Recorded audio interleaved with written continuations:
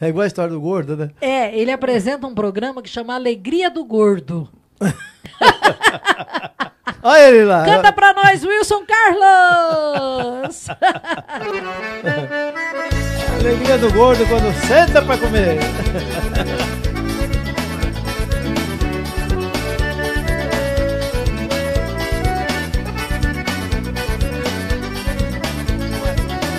Alegria do gordo não é correr, não é jogar bola. Eu vou dizer, a alegria do gordo é quando senta pra comer.